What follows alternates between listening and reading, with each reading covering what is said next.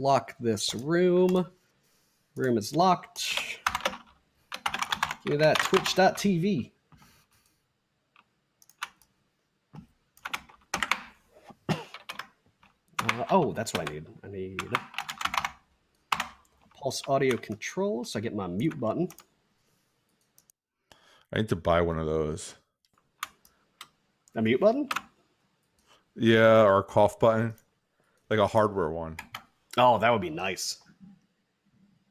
I can use my five hundred dollars in uh, stellar lumens. You could.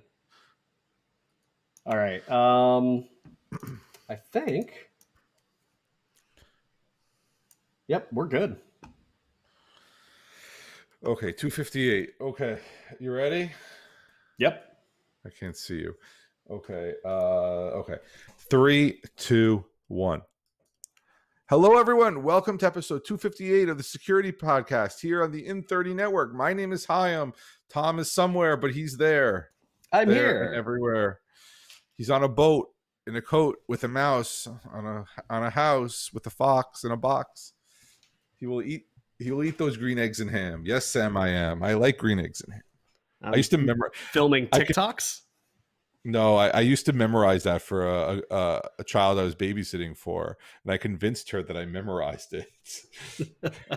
nice. anyway, um, so yeah, so yeah, this is episode two fifty eight. We are recording Thursday, uh, January seventh, so a day after whatever you want to call it, stormed at the Capitol, and we do want to say that that all those events are reprehensible and they should be all those people should be treated to the full arm of the law, full law, full order, and none of that should happen. If you don't like something, you you call it out. You write change.org petitions. You you you do whatever you can. But what you can do is vote. If you, I was gonna say, if you wanted to get really serious about it, you uh, you get your keister down to the voting booth and uh, you circle the little boxes, you drop it in the ballot box, and you walk away peacefully.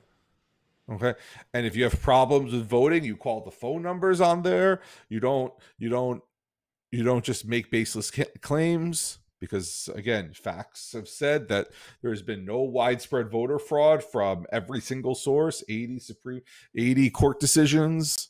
Uh, you had a peaceful election in Georgia the uh, the night before and nobody complained. Both uh, parties uh conce- both i guess i think they both conceded at this point. I think Yeah. they both actually so there is uh honor amongst politicians whatever you want to think of politicians but anyway what happened yesterday or whatever on uh, wednesday the 6th was reprehensible and and that should never happen. Uh and those people should be tried. Remember it's federal. And as the president says they should be 10 years minimum for desecrating federal property because we are a law and order country. So, And this this is not a political podcast, but the reason we're saying that is because we do have a topic today that well, we've got several, but the first topic today uh, if if we didn't say that up front, we would be grouping ourselves with a group of um people that we don't want to be associated with. I'm, I'm trying to be very politically correct here tonight. Um, this is a PG rated podcast after all. Uh, but the one of the things we wanted to bring up tonight is uh, basic OPSEC or operational security. Um, let's say, uh, for instance, that you're doing something that you don't necessarily want to get caught at, right? You head down to a cupcake shop when you and your spouse have decided that you're going to do a joint diet and lose weight together. But man, those cupcakes are delicious. The one thing you don't want to do is take pictures of yourself at the shop, eating at the shop, taking high res pictures of that beautiful chocolate cupcake with the sprinkles and just mm, that decorative frosting. It's perfect. And then post that all over your social media, complete with geotags and the real name policy. So if you uh, if you are doing something that you're afraid you might get caught at, or maybe maybe shouldn't be doing, uh, don't don't go tweeting it. don't don't even take your phone into the cupcake shop, right? Your wife can hit that find my iPhone button and uh yeah, there you go. Your uh I was going to give a different knows. example. I was going to give a different example. You're going to try to propose to your significant other, which There's you're that too. probably you're you're probably on Facebook, on Twitter. You're probably following the same bunch of people. They probably know all your friends and your parents and everything else. And you have to get the rig. You have to do everything right, and you have to cover your tracks where it doesn't look like you're out and about doing nefarious things. And yes, like so, if there's if there's a jewelry store in the middle of nowhere and you have your phone and you've got like Google's like latitude activity reporting and it's it's making a map and oh why were you in the middle of nowhere? Or you've got like find my friends or find my iPhone turned on with that sharing enabled. I, you might not want to buy a ring obviously uh during during those times right? Maybe maybe like find a, a jewelry shop next to like a GameStop or or a cupcake shop if that's your deal. Um, you know, something to add some plausible deniability, but don't like take that ring and snap a photo and put it on Facebook and be like, "Oh, look what I bought for my fiance! It's totally gonna happen tomorrow night," um, because that's really bad operational security. Um, again, we. Uh, I, I don't want to put us in in the that group of people, um, the the hateful mob, as as we'll call them. Um, but I, I did I did wanted to comment on a little bit of basic OPSEC. Um, am I happy that these people did not have basic OPSEC? Absolutely. The FBI is having a way easier time with all those selfies. Um, but yeah, just something to think about if you need to be sneaky for whatever reason, which there are plenty of valid reasons to be sneaky. Look, we we've done. I, I know we've done OPSEC shows b- before. We've done full OPSEC shows and everything else. Uh, we can find them for you. You know what you can do, and we're going to discuss this in a few minutes. You can join our WhatsApp group, and we can give you full operational security tips. And and we always talk about this right before the big major conferences where take your burner phone, format things going on planes, leaving the country, all these little different things. But one of those things that at least my teachers union tells me is don't post on Facebook while you're supposed to be working. It's theft of time.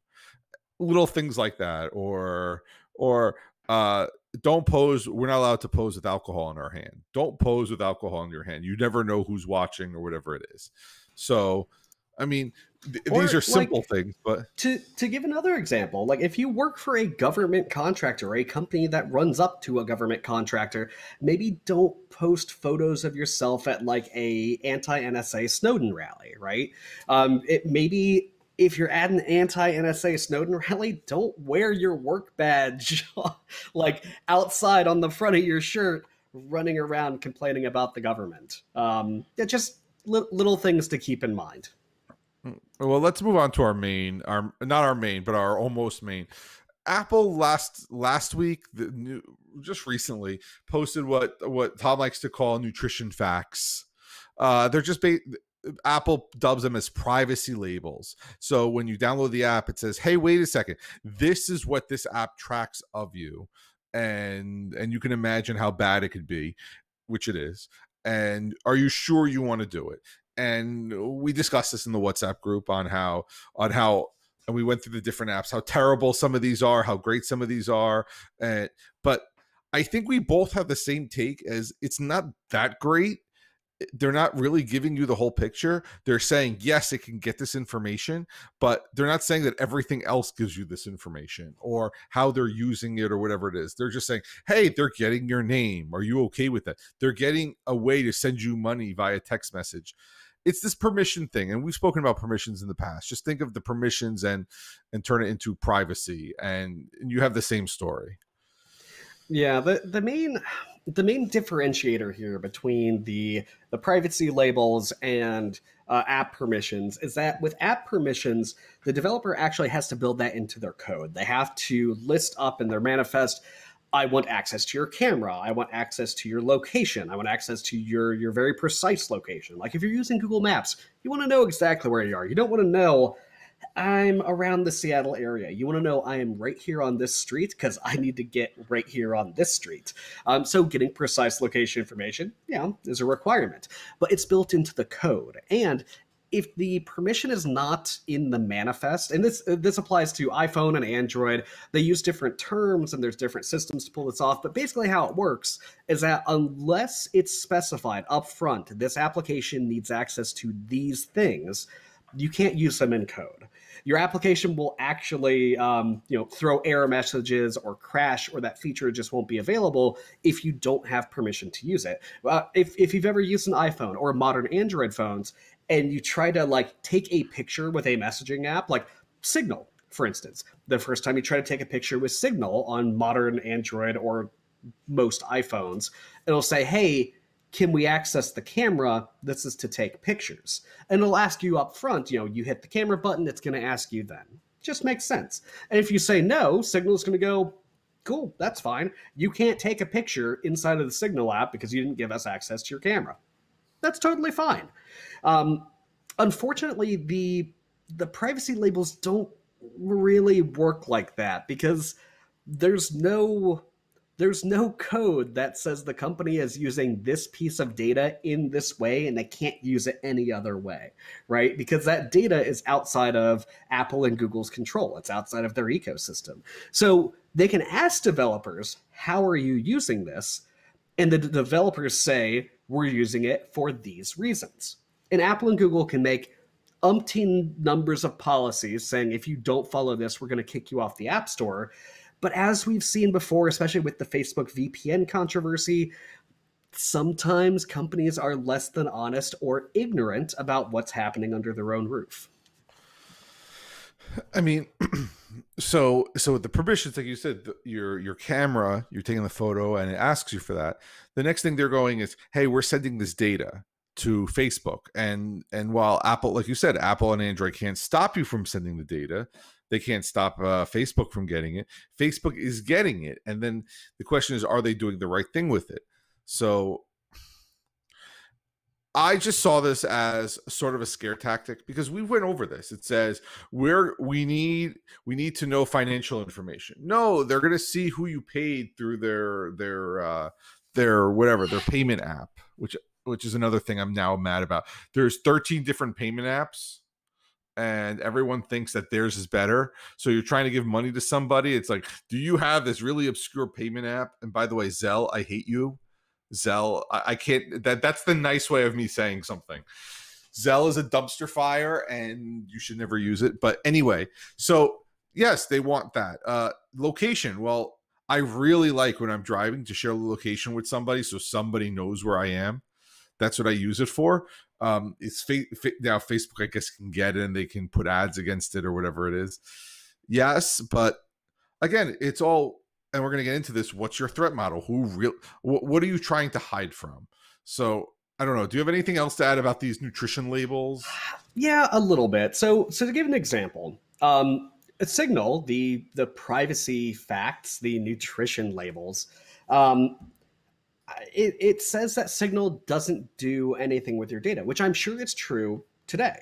I'm sure Signal today doesn't use your data for anything except running the Signal service, right? They're they're not selling ads against it. They're not trying to dox you. They're they're not selling your phone number in mass to anyone. Like, I, I get it.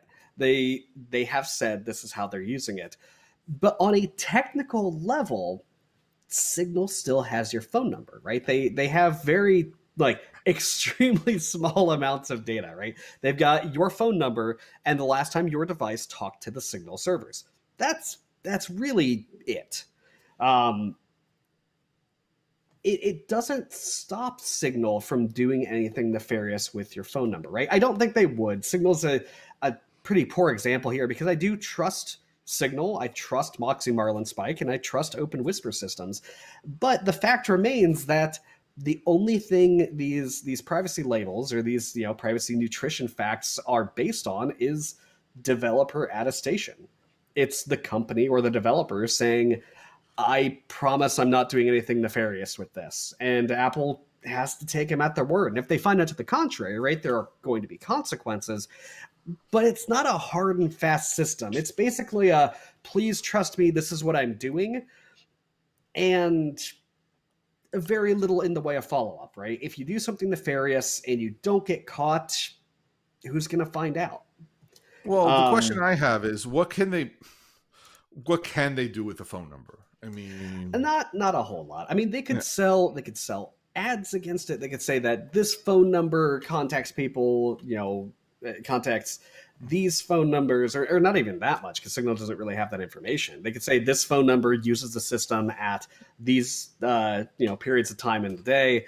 So Signal couldn't get a whole lot of information. But let's take let's take a, a different application, right? Let's take Facebook, for instance. Now, Facebook on on these app privacy labels, it's it's as long as my arm. Like they've got the CVS receipts. Yeah, exactly. Yeah. They've got like seven bazillion things, which is a real number now, seven bazillion things that they track about you and use that to, you know, sell ads against. Um, everything from financial history to who you're talking to, to your location, to everything about you. Um, Facebook is using. Now, could that expand? Could they use it for more and more stuff? And are they going to keep these uh, these privacy labels up to date? I I don't know. I, basically, the the thing that I want um, I, I want you to understand is that these labels are an interesting data point but that's it. You shouldn't look at this as the word of truth. You shouldn't look at it as, as the end all be all. And hey, if I use Signal, there's no way on earth that they could ever use my phone number for anything because the reality is they could if they really wanted to. Sure, there could be consequences, but frankly, this is a, a note that says I promise right and it's it's up to how much you trust that individual app developer with a note that says i promise from Open Whisper Systems slash Signal slash Moxie Marlinspike, if he says I promise, yeah, I generally trust the guy. If Facebook says I promise, nah, I, I really don't. Well, if you go to the Open Whisper Systems job post and you go to perks, they go, "Hey, look, we we're a nonprofit here. We don't make money uh, we we can't give you a gym membership, but if you want us to do some push-ups with you, we'll all do push-ups. So they're clearly saying, look, you're you're coming here to work because you fully believe in this privacy system. Because if we sold this, we would be making a lot more money. Uh, because obviously people want that. Uh, again, we talk about if it's if if you're running this and you're not paying for it, then you're the product again, people send all the stuff through Facebook, all through WhatsApp, huge files. They have to keep. I mean, when WhatsApp is down, the world goes crazy, even if it's down for a few minutes. So they need to have that reliability. All that costs money, and and if you're not paying for it, now I do remember WhatsApp used to be a dollar a year. If you don't remember that, WhatsApp used to be one dollar a year, and the idea was to be an alternative to text message. Uh, and the problem is, is countries like Brazil and India were almost exclusively WhatsApp, and and basically WhatsApp was supremely powerful when the Brazilian judges shut them down. Uh, I think it was. I mean, it didn't last 24 hours before the country revolted. But anyway, so you see this and and people get scared but you have to ask yourself like with permissions what are they trying to do? And yes they have that information but maybe they're trying to make things better. Maybe, maybe they're not. Maybe they are just as evil as we think they are but that's on you. You have to make that decision yourself. And remember it can, security is what is it? Security is the enemy of convenience. You're you want all the security but it's gonna it's gonna cost you inconvenience which which comes I, I guess the next story is uh, uh, WhatsApp versus Signal. Uh, so so the thing we said is, hey, look, if you're on WhatsApp and you have a Facebook account, okay, you have to make a decision. Um, you're already on Facebook, so WhatsApp is just just Facebook is just linking the information together to see this profile on Facebook means this profile here. Now we did say, and we still hold to this. That's the the encryption inside of WhatsApp is bulletproof. I mean, Facebook, the government, they can't get inside those conversations. But we've also discussed how metadata may not be the metadata may sometimes be more important. Now you have to ask yourself, and I was talking to somebody about this. I moved my family from SMS. That was a massive undertaking. It took years and years and years and years. Now I got them on WhatsApp. I can't move them again. There's no way I'm going to be able to move them again. But here's the thing we don't post anything in there, and my family's already on Facebook. They're already my friend. This is not some secret. So they see some family group. What what is I mean, you know that it's going to be family things in there, pictures of the kids, everything else. But I do know they will never be able to see those pictures of the kids. But it's one of those things. If you have Facebook or you have Instagram and you're posting all this nonsense, you're posting that you're that you're doing things that you shouldn't be doing. Uh, talking about on WhatsApp is is not like this. I mean, I, I don't know what to say. It's you're you're you can't be righteously indignant about that. So, so the background is that uh, WhatsApp apparently, uh, because WhatsApp is owned by Facebook, it uh, gave users an ultimatum. Uh, it basically said, "Hey, you can either share your WhatsApp data with Facebook; they're updating their privacy policy, or you don't use the platform anymore." And those are your two options. Um, now, the the founder of WhatsApp when he sold to Facebook said that this will never happen. This will never be a thing. We're never going to do this. Uh, and then when he left the company, right, all bets are off. When you sell the thing, you can't make promises against it anymore. Um, so yeah, if you continue to use WhatsApp, you are sharing data with Facebook about your usage of that application. Um, that said, is that really the end all be all? Like, is that the worst thing in the world? Not necessarily. So, uh, just like you were saying, uh, if you have a Facebook account, if you have an Instagram account, if you are active on those platforms, does using WhatsApp really share that much more data?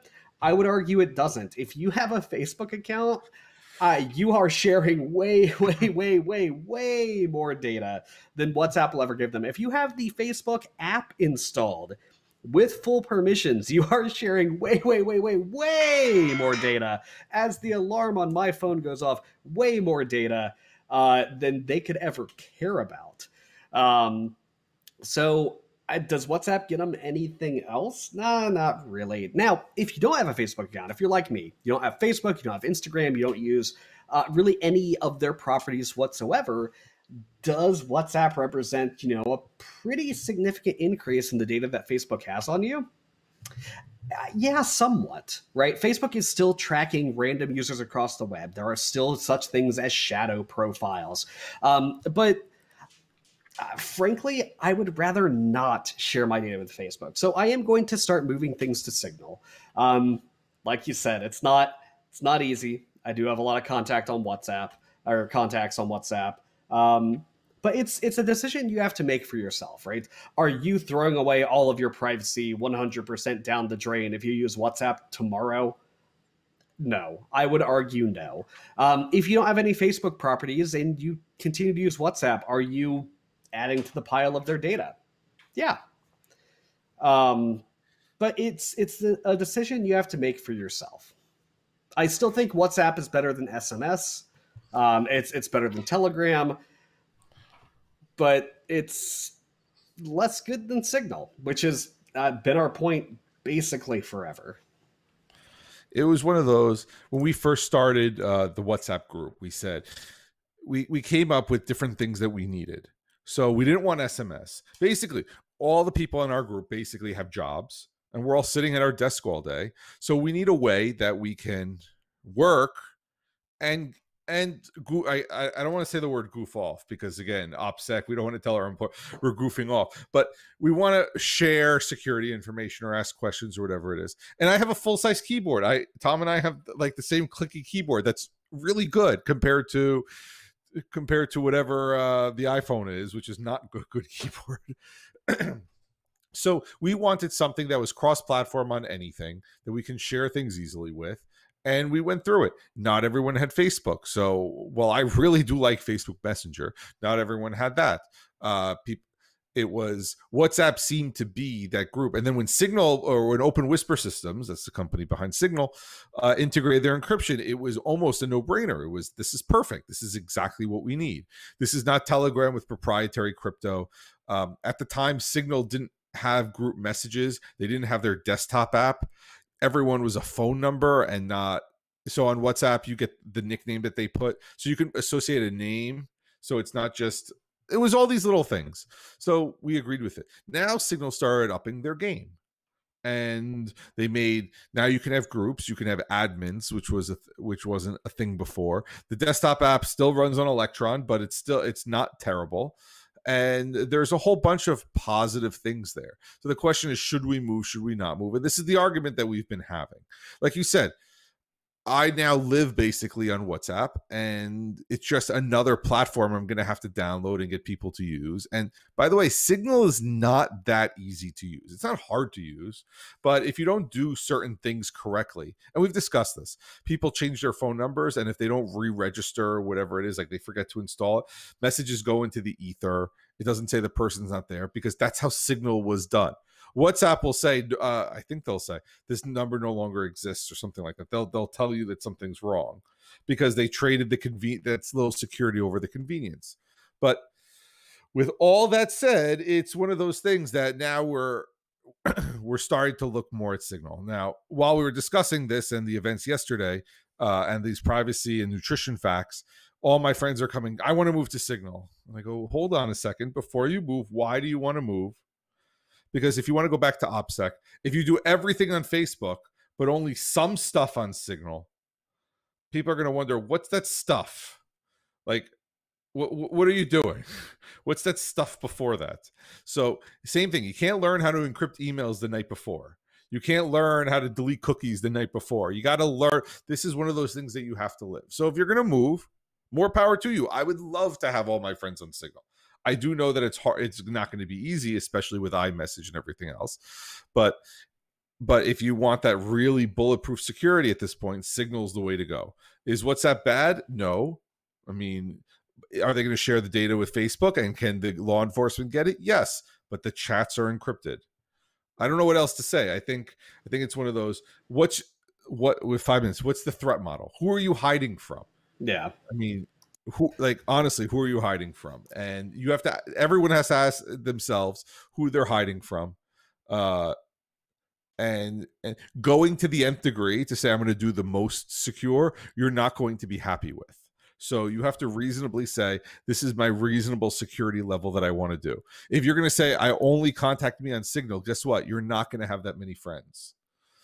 And and keep in mind that Signal still runs on mobile platforms, right? This is this is a very very fancy tracking device that we carry around in our pockets, right? Or wear on our wrists or uh, other things, right? Like these these electronics are not completely holistically secure.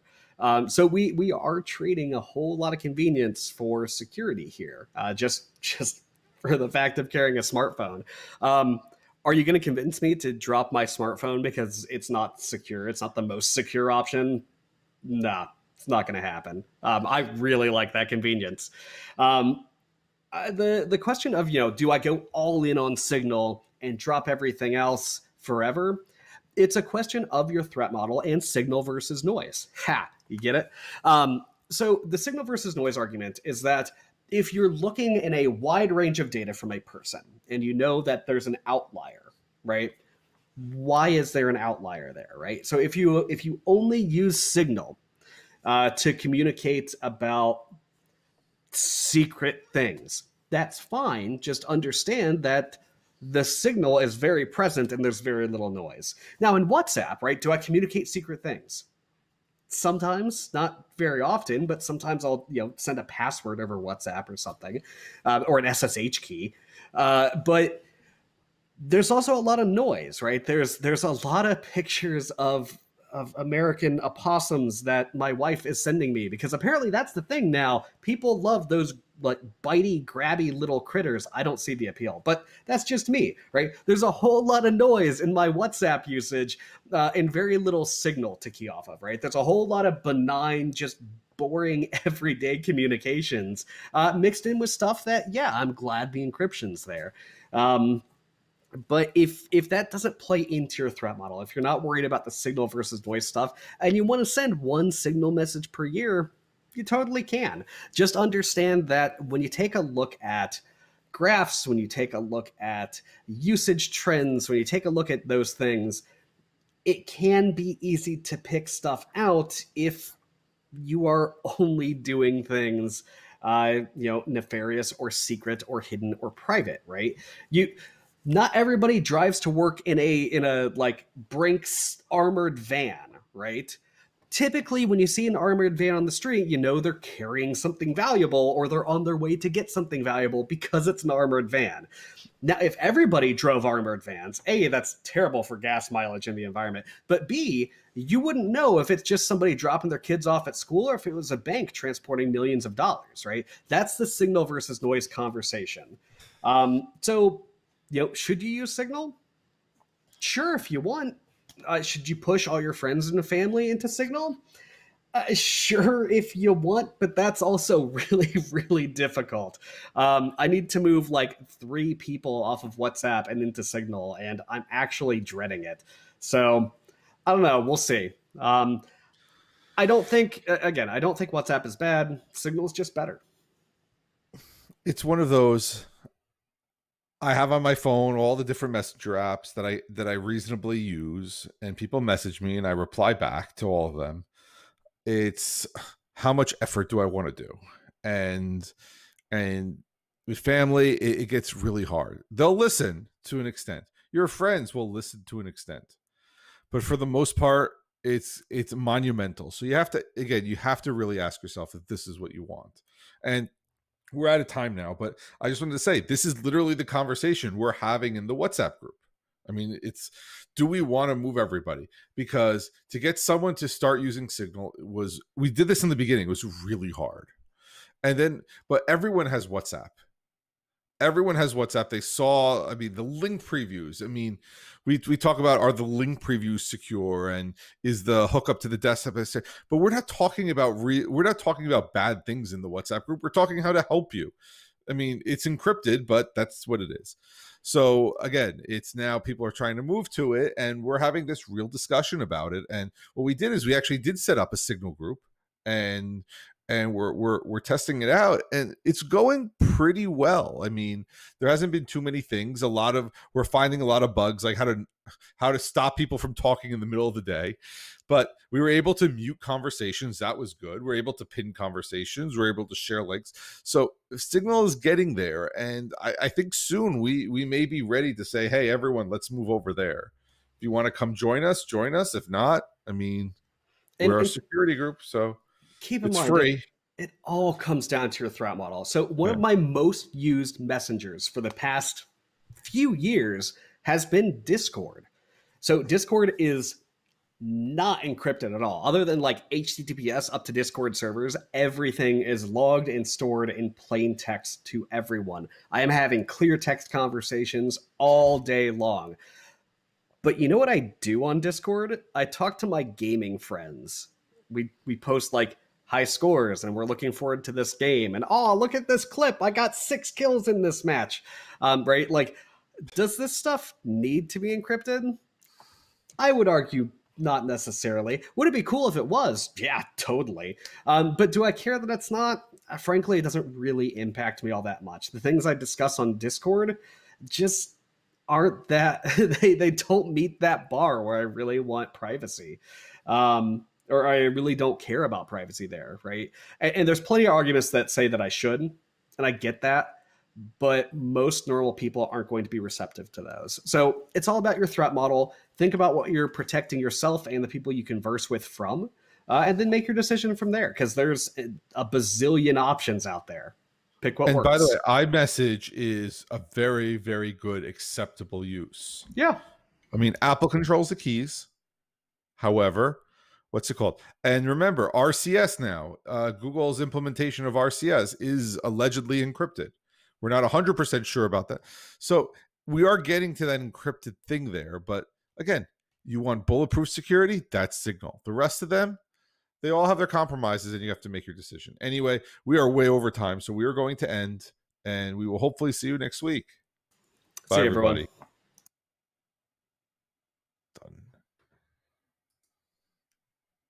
Right, let me shut off Twitch.